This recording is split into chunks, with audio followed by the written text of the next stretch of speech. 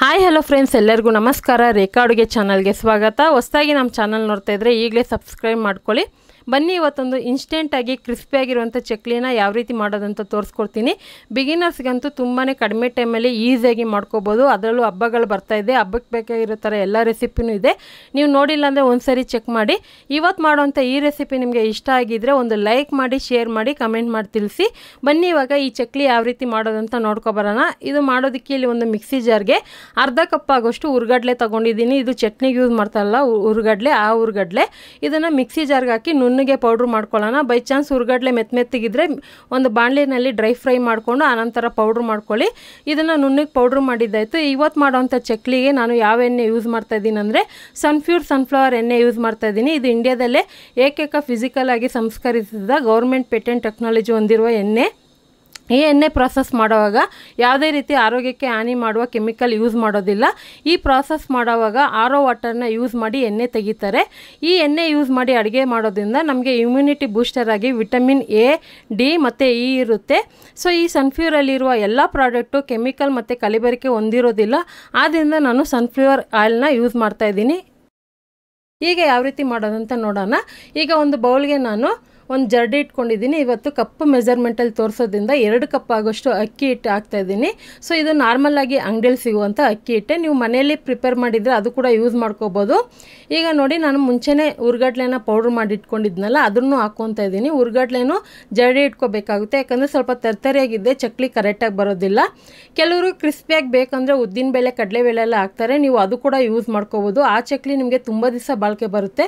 ಈಗ ಇದಕ್ಕೆ ನಂದು ಕಾಲು ಟೀ ಸ್ಪೂನ್ ಆಗೋಷ್ಟು ಇಂಗು. ಕಾಲು ಟೀ ಸ್ಪೂನ್ ಅರ್ಶಿನ ಪುಡಿ ಮತ್ತು ಇದು ಓಮ್ ಕಾಳು, ಇದನ್ನು ಕುಟ್ಟಿ ಪುಡಿ ಮಾಡಿ ಇಟ್ಕೊಂಡಿದ್ದೀನಿ. ಸೊ ಕುಟ್ಟೋದ್ರಿಂದ ನಿಮಗೆ ಪೌಡರ್ ಫ್ಲೇವರ್ ಚೆನ್ನಾಗಿ ಸಿಗುತ್ತೆ. ಒಂದು ಅರ್ಧ ಟೀ ಸ್ಪೂನ್ ಹಾಕ್ಕೊತಾ ಇದ್ದೀನಿ. ಮತ್ತು ಒನ್ ಟೀ ಸ್ಪೂನ್ ಖಾರದ ಪುಡಿ ಹಾಕ್ಕೊತಾ ಇದ್ದೀನಿ. ಖಾರ ಎಷ್ಟು ಬೇಕೋ ನೋಡಿ ಹಾಕ್ಕೊಳ್ಳಿ ಮತ್ತು ಎಳ್ಳು ಸಹ ಹಾಕೋಬೋದು. ನಾನು ಎಳ್ಳು ಹಾಕ್ತಾ ಇಲ್ಲ.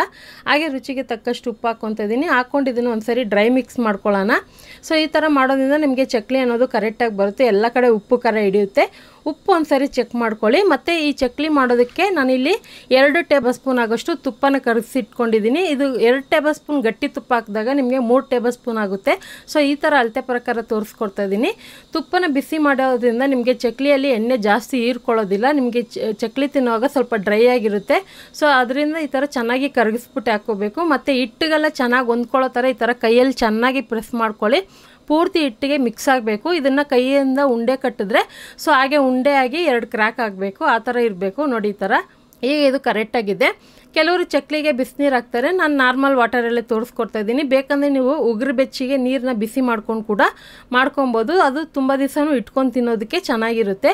ನಾನು ನಾರ್ಮಲ್ ವಾಟರಲ್ಲೇ ನಿಮಗೆ ಇದನ್ನು ಕಲಿಸ್ಕೊಳ್ಳೋದಕ್ಕೆ ತೋರಿಸ್ಕೊಡ್ತಾ ಇದ್ದೀನಿ. ಯಾವ ರೀತಿ ಕಲಿಸ್ಬೇಕಂದ್ರೆ ನಾರ್ಮಲ್ ಚಪಾತಿ ಇಟ್ಟಿರುತ್ತಲ್ಲ, ಆ ಥರ ಅದಕ್ಕೆ ಕಲಿಸ್ಕೋಬೇಕಾಗುತ್ತೆ. ಪೂರ್ತಿ ಗಟ್ಟಿನೂ ಅಲ್ಲ, ಪೂರ್ತಿ ಸಾಫ್ಟ್ ಆಗೋಲ್ಲ ಆ ಥರ ಒಂದು ಮೀಡಿಯಮ್ ಆಗಿ ಕಲಿಸ್ಕೊಳ್ಳಿ. ಇಲ್ಲಾಂದರೆ ನಿಮಗೆ ಚಕ್ಲಿ ಅನ್ನೋದು ಚಕ್ಲಿ ಮಾಡೋವಾಗ ಕ್ರ್ಯಾಕ್ ಬೀಳುತ್ತೆ ಅಥವಾ ಕರೆಕ್ಟಾಗಿ ಬರೋದಿಲ್ಲ, ಮತ್ತು ಎಣ್ಣೆಲಿ ಹಾಕಿದ್ರೆ ಬಿಡಿಬಿಡಿಯಾಗಿ ಆಗೋಗುತ್ತೆ ಸೊ ಇದನ್ನು ನಾರ್ಮಲ್ ಗೋಧಿ ಹಿಟ್ಟಿಂದ ಚಪಾತಿ ಕಳಿಸ್ತೀರಲ್ಲ, ಆ ಥರ ಕಳಿಸಿಟ್ಕೊಳ್ಳಿ. ಇದನ್ನು ಒಂದು ಐದು ನಿಮಿಷ ಪಕ್ಕಕ್ಕೆ ಇಡಬೇಕು. ನೋಡಿ, ಇವಾಗ ನಾನು ಈ ಥರ ಕಳಿಸಿಟ್ಕೊಂಡಿದ್ದೀನಿ. ಒಂದು ಐದು ನಿಮಿಷ ಪಕ್ಕಕ್ಕೆ ಇಟ್ಕೊಂಡು ಅದೇ ಟೈಮ್ಗೆ ಎಣ್ಣೆ ಕೂಡ ಕಾಯಕ್ಕೆ ಇಟ್ಕೊಂಡಿರ್ತೀನಿ ನಾನು. ಇಲ್ಲಿ ನೋಡಿ, ನಾನು ಬಟರ್ ಪೇಪರ್ ಯೂಸ್ ಮಾಡ್ತಾ ಇದ್ದೀನಿ. ನಿಮಗೆ ಬಟರ್ ಪೇಪರ್ ಇಲ್ಲಾಂದರೆ ನಾರ್ಮಲ್ ಒಂದು ಎಲೆ ಅಥವಾ ಸೌಟಲ್ಲಿ ಕೂಡ ಮಾಡ್ಕೊಬೋದು, ಅಥವಾ ಪ್ಲಾಸ್ಟಿಕ್ ಕವರ್ ಕೂಡ ಯೂಸ್ ಮಾಡ್ಕೋಬೋದು. ಒಟ್ಟಿಗೆ ಒಂದು ಐದಾರು ಚಕ್ಲಿನ ರೌಂಡ್ ಮಾಡಿ ಇಟ್ಕೊಂಡು ಎಣ್ಣೆನಲ್ಲಿ ಹಾಕೋಕ್ಕೆ ನಿಮಗೆ ಸುಲಭ ಆಗುತ್ತೆ. ನಾನಿಲ್ಲಿ ನಕ್ಷತ್ರದ ಪ್ಲೇಟ್ ಹಾಕ್ಕೊಂಡಿದ್ದೀನಿ ಸೊ ನಿಮಗೆ ಯಾವುದು ಶೇಪ್ ಬೇಕೋ ಆ ಶೇಪನ್ನ ನೀವು ಯೂಸ್ ಮಾಡ್ಕೋಬೋದು ಪ್ಲೇಟು. ಇದರೊಳಗೆ ಒಂದು ಸ್ವಲ್ಪ ಎಣ್ಣೆ ಹಾಕ್ಕೊತಾ ಇದ್ದೀನಿ ನಾನು. ಈಗ ನೋಡಿ, ಇಟ್ಟು ಸ್ವಲ್ಪ ಸ್ವಲ್ಪನೇ ತಗೊಂಡು ಸ್ವಲ್ಪ ಈ ಥರ ಲೆಂತಿಯಾಗಿ ಮಾಡಿಕೊಂಡು ಅದರೊಳಗೆ ಫಿಲ್ ಮಾಡ್ಕೊತೀನಿ. ನಿಮ್ಗೆ ಎಷ್ಟು ಬೇಕು ಅಷ್ಟು ಮಾಡ್ಕೊಳ್ಳಿ. ಇದರಿಂದ ನೀವು ನಿಪ್ಪಟ್ಟು ಸಹನೂ ಮಾಡ್ಕೋಬೋದು ಕೋಡ್ಬಲೆ ಸಹನೂ ಮಾಡ್ಕೋಬೋದು. ಅದು ಕೂಡ ರೆಸಿಪಿ ನೆಕ್ಸ್ಟ್ ಟೈಮ್ ನಾನು ಹಾಕ್ತೀನಿ. ಇವಾಗ ನೋಡಿ ಇದನ್ನು ಫಿಲ್ ಮಾಡಿದ್ದಾಯಿತು. ಇದನ್ನು ಲಾಕ್ ಮಾಡಿಕೊಂಡು ಫಸ್ಟು ಟ್ರಯಲ್ ಮಾಡಿ ಫ ಬಿಗಿನರ್ಸ್ಗೆ ಹೇಳ್ತಾ ಇದ್ದೀನಿ. ಫಸ್ಟ್ ಒಂದು ಸರಿ ಪ್ರೆಸ್ ಮಾಡಿ ಕರೆಕ್ಟಾಗಿ ಶೇಪ್ ಬರುತ್ತಲ್ಲ ನೋಡ್ಕೊಳ್ಳಿ. ಬೈ ಚಾನ್ಸ್ ನೀವು ಚಕ್ಲಿ ಕರೆಕ್ಟಾಗಿ ಇಟ್ಟು ಕಳಿಸಿಲ್ಲ ಒಡೆದೋಗ್ತಾ ಇದೆ, ಆ ಥರ ಏನಾದರೂ ಇದೆ ನಿಮಗೆ ಒಂದು ಟಿಪ್ಸ್ ಕೂಡ ಹೇಳ್ತೀನಿ. ಒಂದು ಎರಡರಿಂದ ಮೂರು ಟೇಬಲ್ ಸ್ಪೂನ್ ಮೈದಾ ಹಿಟ್ಟು ಹಾಕಿದ್ರೆ ನಿಮಗೆ ಕರೆಕ್ಟಾಗಿ ಬರುತ್ತೆ. ಅದ ನೋಡಿ ಇವಾಗ ನಾನು ಚಕ್ಲಿ ರೋಲ್ ಮಾಡ್ಕೊತಾ ಇದ್ದೀನಿ. ನಿಮಗೆ ಯಾವ ಸೈಜಿಗೆ ಬೇಕೋ ಆ ಸೈಜಿಗೆ ಮಾಡ್ಕೊಳ್ಳಿ. ನಾನಿಲ್ಲಿ ಅಂಗಡಿಗಳಲ್ಲಿ, ಪೆಟ್ಟಿ ಅಂಗಡಿಗಳಲ್ಲಿ ಗಾಜಿನ ಬಾಟ್ಲಲ್ಲಿ ಹಾಕಿರ್ತಾರಲ್ಲ, ಸೊ ಆ ಥರ ಸೈಜಲ್ಲಿ ನಿಮಗೆ ತೋರಿಸ್ಕೊಡ್ತಾ ಇದ್ದೀನಿ ಚಿಕ್ಕ ಚಿಕ್ಕದಾಗಿದೆ ನೋಡೋದಕ್ಕೂ ಚೆನ್ನಾಗಿರುತ್ತೆ, ಸ್ವಲ್ಪ ಜಾಸ್ತಿನೂ ತಿನ್ನೋದಕ್ಕೆ ಇರುತ್ತೆ. ಅದಕ್ಕೋಸ್ಕರನೇ ನಾನು ತೊಗೊಂಡಿರೋಂಥ ಇವತ್ತು ಎರಡು ಕಪ್ ಅಕ್ಕಿ ಹಿಟ್ಟಲ್ಲಿ ಸುಮಾರು ಏನಿಲ್ಲ ಅಂದ್ರೂ ಒಂದು ಐವತ್ತು ಚಕ್ಲಿ ಮಾಡ್ಕೊಂಡಿದ್ದೆ. ಸೊ ಸೂಪರಾಗಿ ಬಂತು ಸೂಪರಾಗಿದ್ದು ಫ್ರೈ ಮಾಡ್ಕೋಬೇಕು. ಯಾವ ರೀತಿ ಅಂದರೆ ಎಣ್ಣೆ ಚೆನ್ನಾಗಿ ಕಾದಿರಬೇಕು ಮೀಡಿಯಮ್ ಫ್ಲೇಮಲ್ಲಿ ಇಟ್ಕೊಂಡು ಇದನ್ನು ಹದವಾಗಿ ಬೇಯಿಸ್ಕೋಬೇಕು, ಎರಡು ಕಡೆ ತಿರುಗಿಸ್ಕೊಂಡು. ಎಣ್ಣೆಯಲ್ಲಿ ಪೂರ್ತಿ ನೊರೆ ಕಂಪ್ಲೀಟಾಗಿ ಹೋಗ್ಬಿಡ್ಬೇಕು, ಮತ್ತು ಕಲರು ಚೆನ್ನಾಗಿ ಬಂದಿರಬೇಕು ಕ್ರಿಸ್ಪಿಯಾಗಿರಬೇಕು ನೀವು ಐ ಫ್ಲೇಮಲ್ಲಿ ಇಟ್ಟು ಮಾಡೋಕ್ಕೋದ್ರೆ ಒಳಗಡೆ ಚಕ್ಲಿ ಮೆತ್ತ ಮೆತ್ತಗಿರುತ್ತೆ, ಮೇಲೆ ಮಾತ್ರ ಕಲರ್ ಚೇಂಜ್ ಆಗಿ ಕ್ರಿಸ್ಪಿಯಾಗಿರುತ್ತೆ ಅದು ತಣ್ಣಗಾದ್ಮೇಲೆ ಏನಾಗುತ್ತೆ ಅಂದರೆ ಮೆತ್ತ ಮೆತ್ತಗಾಗೋಗುತ್ತೆ ಅದಕ್ಕೋಸ್ಕರನೇ ಇದನ್ನು ಮೀಡಿಯಮ್ ಫ್ಲೇಮಲ್ಲಿ ಇಟ್ಕೊಂಡು ಹದವಾಗೆ ಹುರ್ಕೊಳ್ಳಿ. ಮತ್ತು ಲೋ ಫ್ಲೇಮಲ್ಲಿಟ್ಟು ಉರಿಯೋಕ್ಕೆ ಹೋಗಬೇಡಿ, ಎಣ್ಣೆ ಜಾಸ್ತಿ ಕುಡಿಯುತ್ತೆ, ಮತ್ತು ತಿನ್ನೋವಾಗ ಎಣ್ಣೆ ಅಂಶ ಜಾಸ್ತಿ ಅನಿಸ್ಬಿಡುತ್ತೆ ನಿಮಗೆ. ಈಗ ಆಲ್ಮೋಸ್ಟ್ ಚಕ್ಲಿ ಮಾಡಿದ್ದೈತಿ ಇದನ್ನು ಒಂದು ಟಿಶ್ಯೂ ಪೇಪರ್ ಮೇಲೆ ಹಾಕ್ಕೊತೀನಿ ಉಳ್ದಿರೋದು ಕೂಡ ಇದೇ ರೀತಿ ಮಾಡಿಟ್ಕೊತೀನಿ. ಸೊ ನೋಡೋದಕ್ಕೆ ತುಂಬಾ ಚೆನ್ನಾಗಿದೆ. ಎಲ್ಲ ಚಿಕ್ಕ ಚಿಕ್ಕದಾಗಿ ಮಕ್ಕಳು ಕೊಡೋದಕ್ಕೂ ಚೆನ್ನಾಗಿರುತ್ತೆ, ಲಂ ಲಂಚ್ ಬಾಕ್ಸ್ಗೆ ಅಥವಾ ಊಟದ ಜೊತೆ ನೆಂಚ್ಕೊಳ್ಳೋಕ್ಕೂ ಚೆನ್ನಾಗಿರುತ್ತೆ. ಖಂಡಿತ ಇವತ್ತು ಮಾಡಿರುವಂಥ ಈ ರೆಸಿಪಿ ನಿಮಗೆಲ್ಲ ಯೂಸ್ಫುಲ್ ಆಗಿದೆ. ನೀವು ಟ್ರೈ ಮಾಡಿ, ಮತ್ತು ಯಾವ ಥರ ಆಯ್ತು ಅಂತ ಕಮೆಂಟ್ ಮೂಲಕ ತಿಳಿಸಿ.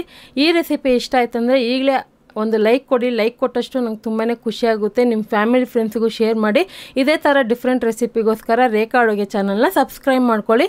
ಈ ವಿಡಿಯೋ ನೋಡಿದ್ದಕ್ಕಾಗಿ ಎಲ್ಲರಿಗೂ ಧನ್ಯವಾದಗಳು. Take care bye